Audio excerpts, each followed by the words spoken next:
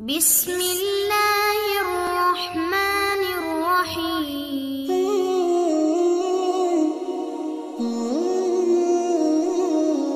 മുത്ത് ഹബീബ് സല്ലല്ലാഹു അലൈഹി വസല്ലമ തങ്ങളുടെയും സ്വഹാബത്തിൻ്റെയും താബികളുടെയും ജീവിതം എന്തായിരുന്നുവോ അത് തന്നെയാണ് തസവുഫ് തസവുഫ് എന്ന പദം സാങ്കേതികമായി ഉപയോഗിക്കപ്പെടുന്നതിന് മുമ്പേ അതിന്റെ പൊരുൾ നിലവിലുണ്ട് തസ്കിയത്ത് ഇഹ്സാൻ തുടങ്ങിയ പേരുകളിലാണ് തസവൂഫ് അറിയപ്പെട്ടത്.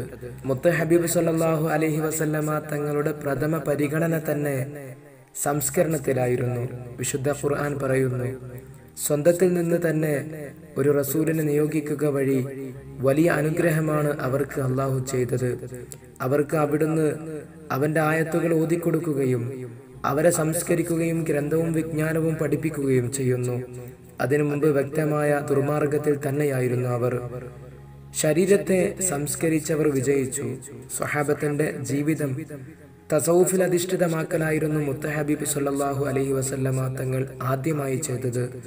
നബി സല്ലാഹു അലഹി വസല്ലമ തങ്ങളുടെ സംസ്കരണ പ്രവർത്തനത്തിലൂടെ സ്വഹാബത്തിന്റെ ഹൃദയങ്ങൾ സൂഫി ഹൃദയങ്ങളായി തീർന്നു എന്നാൽ ചരിത്രത്തിൽ എന്തുകൊണ്ട് അവർ സൂഫികൾ എന്ന നാമത്തിൽ അറിയപ്പെട്ടില്ല?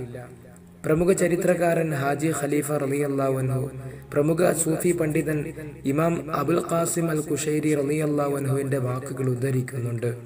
മുത്ത് ഹബീബ് സല്ലാഹു അലഹി വസല്ലമ തങ്ങളുടെ ശേഷം മുസ്ലിങ്ങളിലെ ശ്രേഷ്ഠ ജനങ്ങൾക്ക് സ്വഹാബത്ത് എന്നല്ലാതെ മറ്റൊരു നാമം പറയപ്പെട്ടിരുന്നില്ല.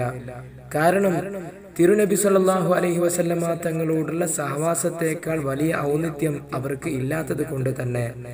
പിന്നീട് സ്വഹാബത്തിനോട് സഹവസിച്ച രണ്ടാം തലമുറ താബിയുകൾ എന്ന നാമത്തിലും അറിയപ്പെട്ടു.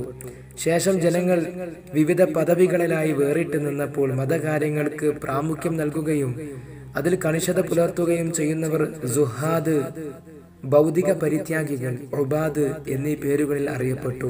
ക്രമേണ ജനങ്ങളിൽ നവീന ആശയങ്ങൾ ഉത്ഭവിക്കുകയും ഓരോ വിഭാഗവും തങ്ങളാണ് ജുഹാദുകളെന്ന് അവകാശപ്പെടുകയും ചെയ്തുകൊണ്ടിരുന്നപ്പോൾ സ്വശരീരങ്ങൾ അള്ളാഹുവിനോടൊപ്പമാണെന്ന് പരിഗണിക്കുകയും ഹൃദയങ്ങളെ അള്ളാഹുവിനെ വിട്ട് അശ്രദ്ധരാവാതെ സൂക്ഷിക്കുകയും ചെയ്തു പോരുന്ന അഹലുസുന്നയിലെ തസവൂഫുകാർ എന്ന് വിളിക്കപ്പെട്ടു.